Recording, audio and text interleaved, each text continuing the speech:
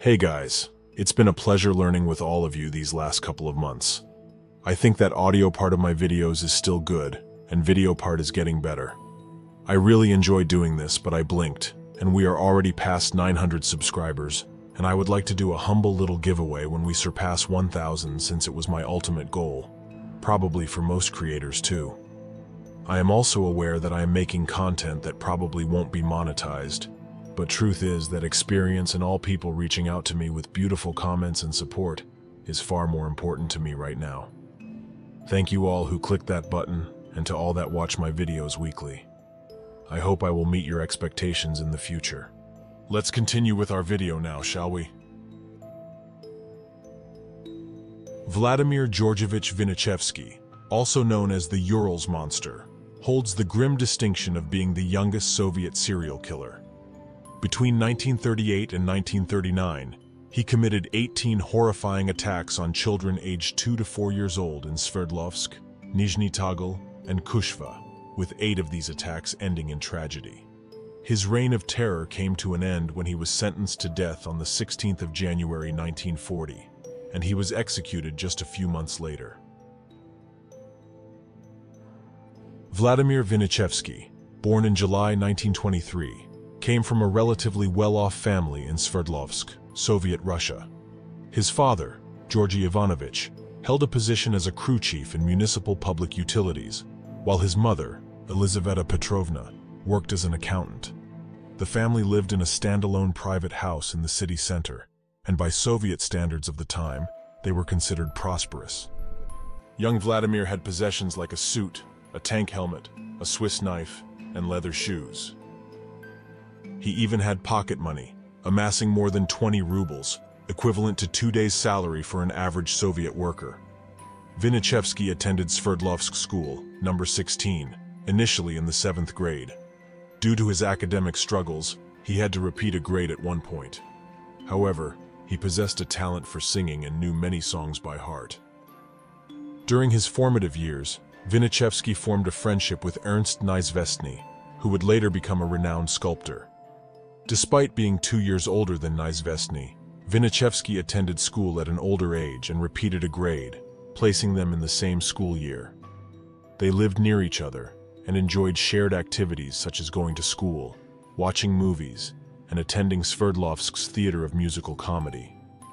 Vinnichevsky frequently visited Neizvestny's apartment. Neizvestny described Vinnichevsky as a very reserved and introverted boy who preferred solitude. In school, he often stood in a corner or by the wall. When discussing girls, Vinnichevsky expressed a strong aversion to sexual intercourse and claimed never to have engaged in it. Neizvestny also noticed that Vinnichevsky spent an unusually long time in the restroom, though he remained unaware of his activities there. Vinnichevsky's acts of violence were primarily centered in Sverdlovsk, but he deliberately extended his reach to other cities within the Sverdlovsk Oblast in an effort to confound investigators. Notably, one attack occurred in Nizhny Tagil, and another took place in Kushva. His victims spanned both genders, and the driving force behind these attacks was sexual in nature. Initially, Vinnichevsky attempted to engage in what he considered natural acts with female victims, but he soon realized that anatomical constraints made this impossible. The murder of Gerda Gribanova provided crucial evidence for investigators, as a piece of the knife used was lodged in the girl's skull. Authorities removed her head for examination, retaining the skull as evidence, while the rest of her remains were returned to her parents for burial. Initially, it was assumed that the same kitchen knife had been used in subsequent crimes, but this assumption was later proven false. The fifth victim, a young boy who likely survived but remained unaccounted for, experienced a harrowing encounter. Vinnichevsky proposed that four-year-old Borya Titov accompany him for sledding, but instead, he led the child to a desolate area and subjected him to harm. Fortunately, the child was rescued and subsequently cooperated with investigators to identify his attacker. The seventh victim was three-year-old Kate Lobanova in Kushva, who tragically lost her life. Her body was later disposed of in a swamp to mask the signs of decomposition. In Sverdlovsk, Vinnichevsky altered his approach by abducting children and committing violence in forested areas on the city's outskirts. There, he concealed their bodies beneath branches. This is how four-year-old Lida Surina and three-year-old Valya Kamaeva met their tragic fates in the spring of 1939. Subsequently, three-year-old Alia Gubina was kidnapped and subjected to assault by Vinnichevsky. Afterward, he inflicted multiple knife wounds on her, including a 25 centimeter long wound. Remarkably, she survived and managed to escape, despite Vinnichevsky not taking her more than one kilometer from the abduction site. These incidents occurred not only on the outskirts, but also near his residence on Mamin-Sibiryak Street, where he kidnapped two children. The final victim, four-year-old Taisia Morozov, met a gruesome end. Following her murder, Vinnichevsky discarded her body in a cesspool and placed her clothing in the front garden of an apartment building, hoping that investigators would search there for her remains. The victims who were subjected to Vinnichevsky's attacks and thrown into cesspools had minimal chances of escape, even if they were still alive. However, four-year-old Raya Ramatulina, whom Vinnichevsky had thrown into a cesspool, miraculously regained consciousness and began to cry out, alerting passers-by who came to her rescue. The investigation into the abductions of children in Sverdlovsk posed numerous challenges for the local criminal investigation department. The kidnappings exhibited considerable variation, occurring in different locations and with distinct methods of disposing of the victims' bodies.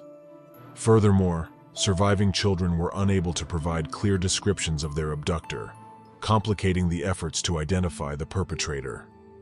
Adding to the complexity, some parents of victims did not report the incidents to the police. Investigators also grappled with erroneous assumptions about the murderer's identity. There was a widespread belief that the killer had a prior conviction, likely related to crimes against personal integrity. It was presumed that the perpetrator was a young adult, aged between 20 and 25, who appeared youthful or like a teenager.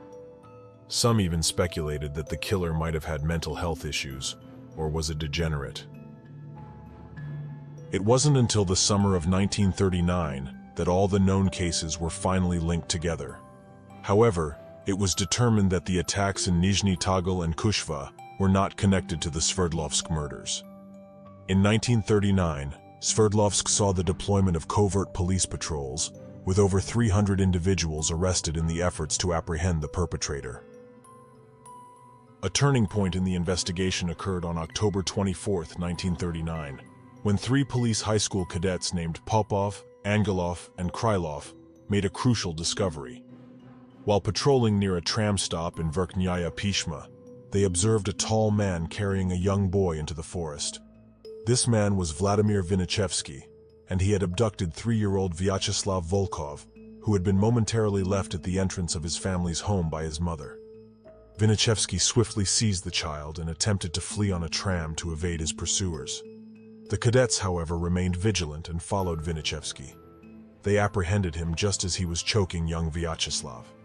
Thanks to the scarf around the child's neck, Vinnichevsky had to unbutton his shirt to strangle the boy leaving visible marks on his fingernails. This evidence left no room for alternative explanations or justifications of his actions.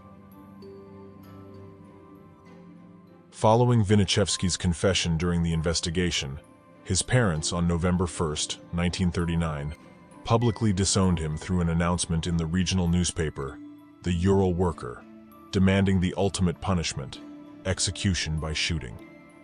The trial of Vinnichevsky occurred under the backdrop of Soviet legislation that permitted the death penalty for minors above the age of 12. This law was introduced after a proposal by the People's Commissar for Defense, Kliment Voroshilov, in response to rising child crime rates. Despite questions about its humanity, Joseph Stalin defended the law as having a pedagogical purpose, to deter both young offenders and those who organized delinquency among children. On January 16, 1940, Vinnichevsky was sentenced to death by the Soviet court. He sought clemency, expressing a willingness to prove himself in battle and serve as a tanker during the ongoing Soviet-Finnish War. However, his plea for mercy was denied, and he was executed. In the Soviet Union, the bodies of executed individuals were not returned to their families for burial. Instead, they were interred in clandestine, undisclosed locations. It is believed that Vladimir Georgievich Vinnichevsky was laid to rest approximately 12 kilometers from the Moscow tract. This burial site stands as the sole known resting place in the Sverdlovsk region, where the executed were buried during the 1930s. Notably, individuals executed for various reasons, including political and criminal charges like Vinnichevsky, were all interred in a single mass grave without distinction. In the 1990s, this burial ground was transformed into a memorial complex dedicated to the victims of repression spanning from the 1920s to the 1950s. On November 20th, 2017, a poignant monument titled Masks of Sorrow, Europe-Asia, was unveiled at this complex. This striking work of art was created by Ernst Neizvestny, a friend of Vinnichevsky. As for Vinnichevsky's case records, they are housed under case No. 434. The state archives of the Sverdlovsk region hold four volumes of the criminal case against Vladimir Georgievich Vinnichevsky, which was adjudicated by the Sverdlovsk Regional Court in 1940. These volumes are stored in the archives collection under Fund R148, titled Sverdlovsk Regional Court, Inventory 2. In 2017, a media report claimed that Vinnichevsky's case had been kept classified for over seven decades. However, the State Archives of the Sverdlovsk region refuted this assertion on March 16, 2018, confirming that Vinnichevsky's case had been archived since 1991 and had been accessible to the public since then. In January 2018, a. Rakitin authored a two-volume book dedicated to Vinnichevsky, titled The Urals Monster, Chronicle of the Exposure of the Most Mysterious Serial Killer of the Soviet Union. In this publication, the author introduced a theory suggesting that Vinnichevsky may have had an accomplice in his heinous crimes. When you hear about cases like this, and when you read about cases like this, you cannot help but feel a sense of disgust for the perpetrators experiencing both anger and sadness simultaneously. Every case is a tragic one, but cases that involve young children like this just hit differently. They deserve to have their stories told so they don't end up lost among case files on some shelves in basements. Gerda Gribanova, Borya Titov, Kate Lobanova, Lida Surina, Valya Kamaeva, Alya Gubina, Taisai Romazov, Nina Pleshcheyeva. These are some of the victims' names, either meeting their tragic end or surviving encounters with the monster. Let's not forget the victims. Thank you all who stick to the end of the video. If you have any thoughts, please share with me in the comments down below. Click a like if you like this video, and let me know if you have any more interesting cases like this. I want to give a big shout out to a I am Adams who recommended this case in the comments section. Thank you. I am Alex, and this is Conundrum. Stay curious and stay safe.